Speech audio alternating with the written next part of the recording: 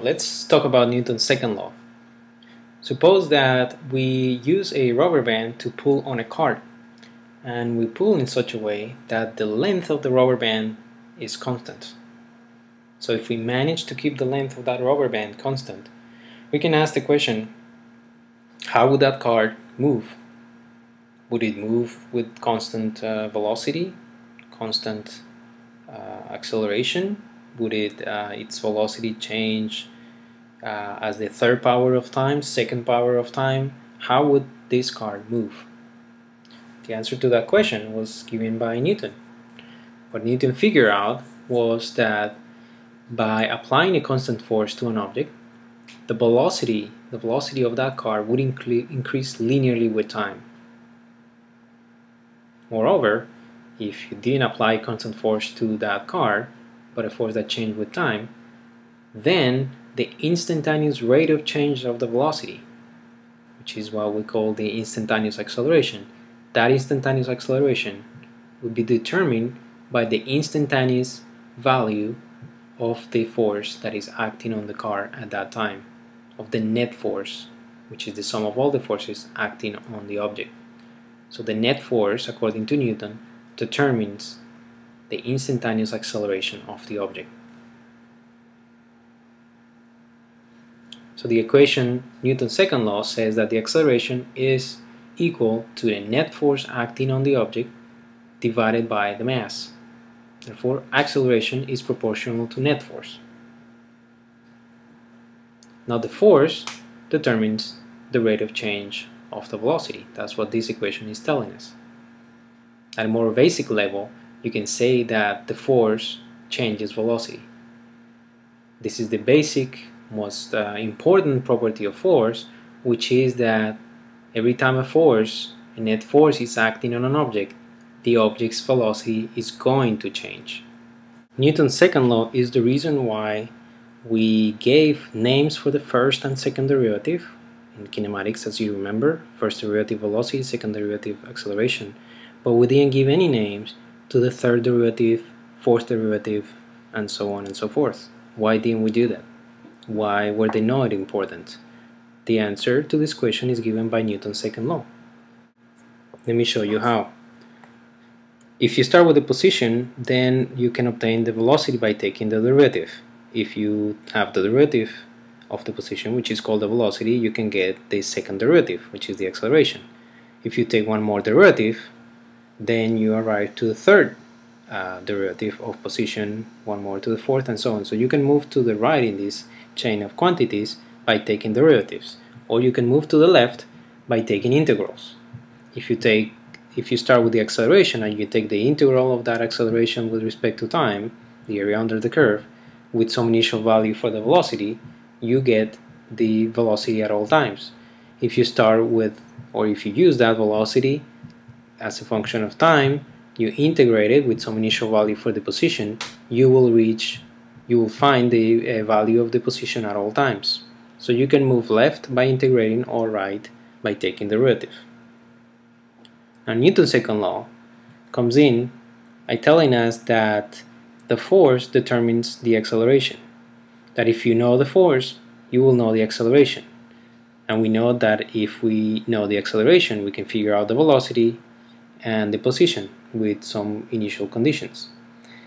Finding or knowing the value of the position and the velocity in turn allows us to calculate the force because the force in general could depend on position and velocity. A force that depends on position, for example, is the gravitational force between a rocket and the Earth. A force that depends on uh, velocity would be air drag, the force between the air and the rocket.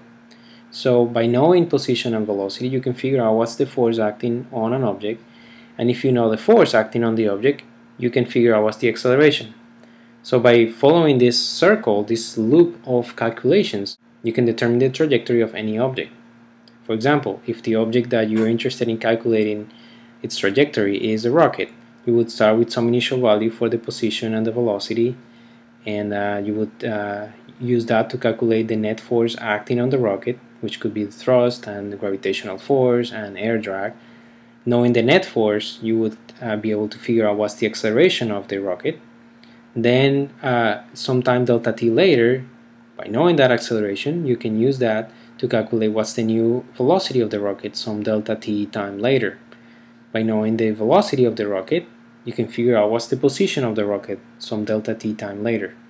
Using the new position and the new velocity, you can calculate the new force acting on the rocket, which tells you what's the new acceleration, which tells you what's going to be the velocity and position some delta, delta t time later, and so forth and so on. So by repeating, going over this loop billions of times, you can calculate the whole trajectory of an object, say a rocket, going from Earth to the Moon. Notice that the third and fourth derivatives here have been left out, simply because the force does not depend on them, and they're not determined by the force. If you're interested in finding how much are the third and fourth derivative, you can always uh, take the derivative of the acceleration to get the third, another derivative to get the fourth derivative. But since they play no role in determining anything else, they're just not important, and we don't have to give them names. Suppose now that the force was actually proportional to the third derivative of the position. In some engineering applications, uh, they're given this third derivative of position with respect to time, they give it the name jerk. So suppose that you actually, that Newton's second law was that the force is proportional to jerk. So F determines the third derivative. So an object that moves with constant force under the effect of a constant force would move with constant jerk. Constant jerk motion will give you a change in position that is third power in time. So if the problem given to you was that you know what's the force and it's constant, you would find out how much is the jerk. And if you're given how much distance the object moved, then the question could be how much time did it take the object to move over that distance delta x? If that were the problem, you'll be in trouble because that is a cubic equation, you'll be solving a cubic equation to determine the time that is a very hard equation to solve. So I think that we should be happy that Newton's second law, in Newton's second law, the acceleration is determined, the second derivative is determined by the force instead of the, say, the third derivative being determined by the force. Because if that was the case, I think that you would agree with me that it would be very hard to deal with jerks all the time.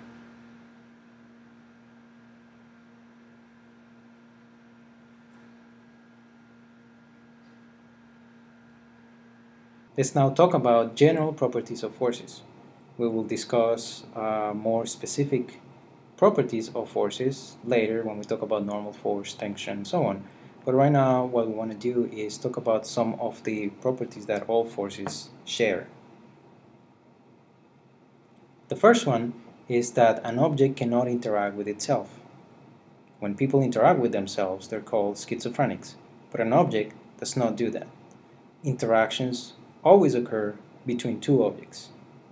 What this means is that force requires an agent. If there is a force acting on an object, you can be sure that there must be an object, another object nearby that is responsible for applying that force for that interaction with the other object.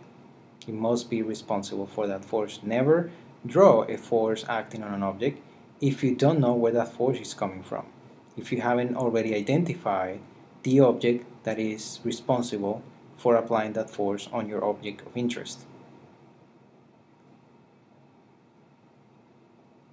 Second property of all forces is that the force between two objects depends on the distance between the two objects. Distance is always an important parameter in determining the magnitude of the force between two objects. Now, according to how the forces depend on this distance, we classify them into two groups. Some forces are only important when the objects are really, really close together, what you would call touching. So when two objects are touching, these forces are called contact forces.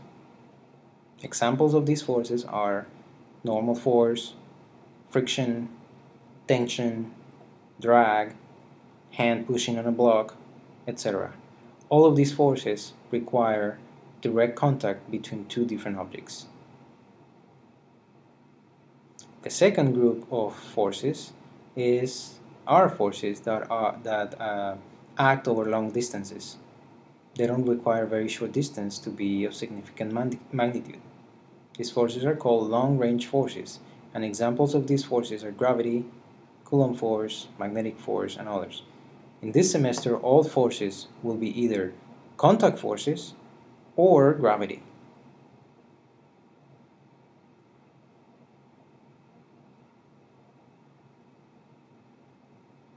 Now here's a few things to notice about Newton's second law. A equals net force divided by the mass. First one is that the acceleration depends on the net force and net is the keyword here. Net force or resultant force means is the vector force that you uh, obtain after you have added all of the forces acting on the system. And the important thing is that you need to find all the forces acting on the system. If you don't know all the forces acting on your system, if you don't consider all of them and you don't add them together, then the net force will not be correct and your calculations will not be correct. It is essential that you find all the forces acting on the system. Second important thing to point out about Newton's second law is the presence of a quantity that we give the symbol m. The acceleration is the net force divided by m. m is called the mass, and it is related to the amount of stuff that the object is made of. The mass is directly related to the inertia of the object, that is to the resistance that the object offers when an external agent tries to change its state of motion. According to Newton's second law, F equals ma, to obtain a given acceleration, the more mass, the more the force that is necessary. So if you have an object of, say, capital mass m, and you want to give that object an acceleration a, the amount of force required is, say, capital F. Capital F, big F divided by big M gives you a regular size a acceleration. But if you have a smaller object and you want to give this object the same acceleration, then a smaller force will be required. So for the same acceleration, a smaller object requires a smaller amount of force applied to it, because little f divided by little m gives you a regular size acceleration. So the mass is what determines how much force is required to give an object a particular acceleration. Third is that the net force and the acceleration have the same direction the net force and the velocity not necessarily have the same direction. To see this, remember circular motion. In circular motion, you have centripetal acceleration and tangential velocity. So the acceleration and the velocity were perpendicular to each other in uniform circular motion, that is. So since the force is uh, in the same direction as the acceleration, you can tell that in uniform circular motion, as we'll see later, the force is always perpendicular to the velocity. Fourth thing to notice is that the Newton's second law is a vector equation. That means it actually is two equations in one. The vector notation is shorthand for the same equation written along each one of the coordinate axes. So Newton's second law in vector uh, notation actually means that the net force along the x direction is equal to the mass times the acceleration along the x direction and that the net force along the y direction is equal to the mass times the acceleration in the y direction. Now, if you know the acceleration along the x direction, you can figure out the velocity along the x direction, given some initial conditions, and you can figure out the position of the object. All you need to calculate the position along the x direction is information about the velocity along that direction, about the acceleration, and about the forces acting along that direction. The same is true for the y component. If you know the acceleration in the y direction, you can figure out the velocity, you can figure out the position. And one equation for the and the equation for the x component has nothing to do with the equation for the y component. These equations are completely independent of each other. So that means that some solving a two-dimensional problem using Newton's equations is the same as solving two one-dimensional problems each component is treated independently of the other one.